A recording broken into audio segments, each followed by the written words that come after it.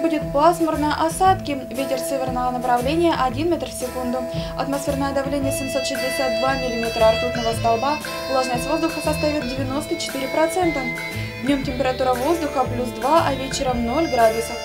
В Москве пасмурно снег, температура воздуха минус 1. В Краснодаре пасмурно дожди, температура воздуха плюс 8.